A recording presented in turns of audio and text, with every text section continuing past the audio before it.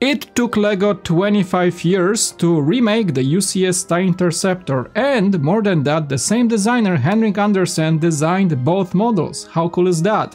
Thanks to LEGO for sending this set for review, now let's check out if this is a worthy model of the 25th anniversary of LEGO Star Wars UCS line.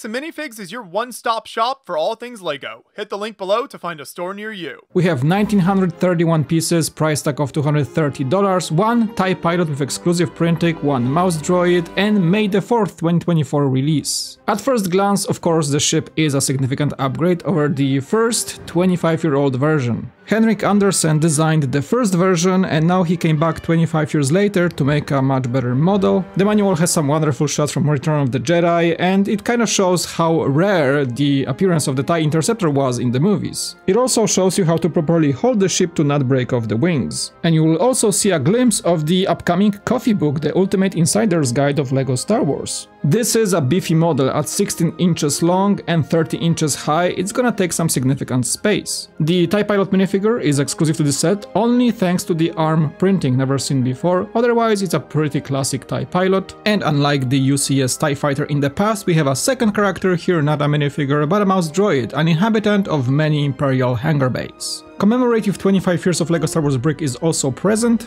The plaque comes printed like with all modern UCS sets. This one is shiny, so it's gonna leave some fingerprints, I believe for the first time. And you get all the usual specs of the ship, along with a nice graphic in blue showing the framework of the ship. The pimple is visible, however, um, from the molding, so that's if that's something you don't like, well, it's here. Hey, by the way, if you like the shirt I'm wearing, you can get yours today. These shirts are made in partnership between Beyond the Brick and Bricks and Minifigs stores, so you can get those at participating Bricks and Minifigs locations with all these cool logos and Bricks are my sport, and you can also order one online at the link in the description below. The design of the stand is simple, but I like it how the plaque is somewhat centralized behind the character, so you can remove it if you please very easily.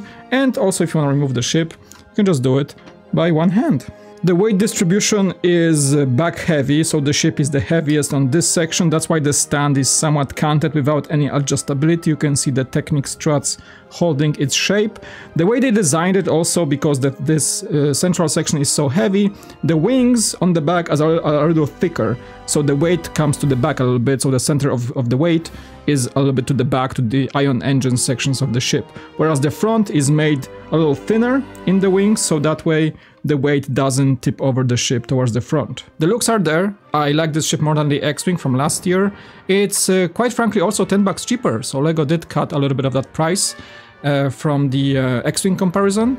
And this ship, I feel it's just better design, better quality overall, no sagging, very solid construction, lots of rigidity, and just accuracy, which I was kind of missing in the X-Wing. Lots of modern greebling for a modern ship. We have the gaming uh, pads for the sensors on the front of the ship, for example. The wing areas near the pylons are highly detailed. You can see that torch piece, for example, used here. Uh, lots of fun techniques to add some hydraulic systems, like there is a, a lipstick piece between those two smaller, rounded, modified pieces in the middle. That looks really good. They could have just left, you know, understuds here, but in fact they used a lot of nice uh, detail here to make it a bit more interesting. The advanced targeting systems on both sides of the ship are using the shovel pieces just like in the original model from the uh, 25 years ago.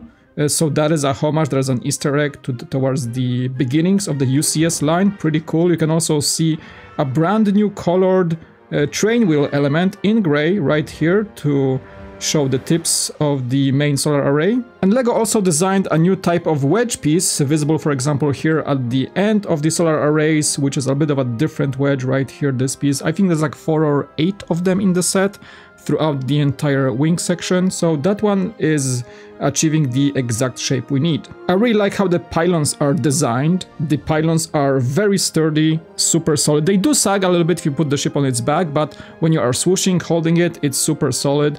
Those panels from the front and from the back are kind of attached to a Technic rod inside. There is some shaping done, done here with some, you know, cheating connector pieces, so you can kind of move it as you can see, but Uh, once, you know, pushed against the model, it gives you this uh, kind of distinctive and highly detailed look. One thing I didn't like about the model are the laser cannons. The quad laser cannons are quite fragile. I'm gonna show you one example here. So these are made with uh, pistol pieces and lightsaber pieces as well. But if you, you know, they're on the tips of the wings, they're easy to remove, knock them over easily.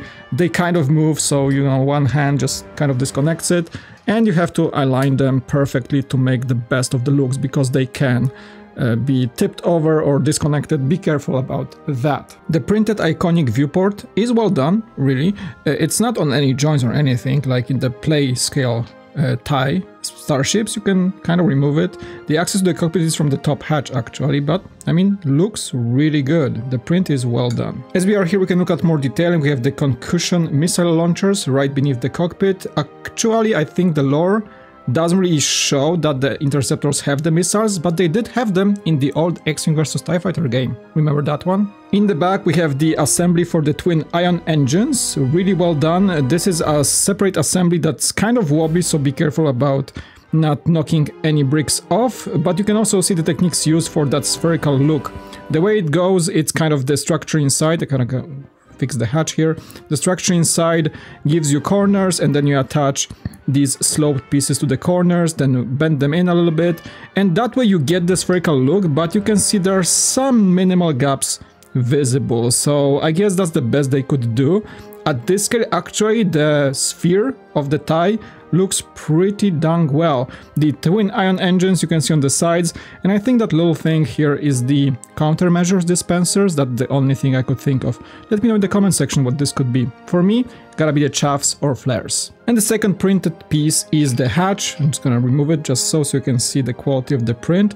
It does attach to the uh, assembly, allowing you to get access to the cockpit. All the stickers in this set are in the cockpit, all of these. The cockpit is kind of inspired, I think, from the game Star Wars Squadrons, which had the TIE interceptors, and you can see the detailed look of it. It's kind of hard to shoot, but it has a lot in it, packed, the brim. We have uh, sensors, screens, hull integrity, radar, there's an X-Wing being targeted, there are the pistol pieces for the joystick controls, there's a lot there. All of the sides of the cockpit are uh, finished, done, and there's a big seat for, of course, non-minifigure scale pilot. But yeah, it's packed. It's just non-accessible, really. You can either remove the front viewport and kind of see into it, but really it's blocked by some bricks. And from the top, it's not much to see there. But you know it's detailed because you build it. And it's, I think, the most detailed cockpit I have ever seen in a UCS model. Overall, I like the ship, much more than the X-Wing in fact. Uh, I like that the price is a little lower, 10 bucks less than the previous year's model, so LEGO is cutting prices a little bit here and there, so that's always nice to see. The model is good quality, has some great techniques. Fun fact is that the same designer designed this and the original UCS TIE Interceptor that opened the UCS line back 25 years ago, back in 1999, so that's kind of cool. And I feel it is a worthy model for the 2024 May the 4th day, right? Let me know what you think in the comment section below. The set does offer quite a few good things and it's gonna probably be maybe a fan favorite, just like the TIE Fighter was when it came out a few years back. Let me know what you think in the comment section below. It was Mike, thank you so much for watching Beyond the Brick, and I'll see you in the next one. Peace out, goodbye.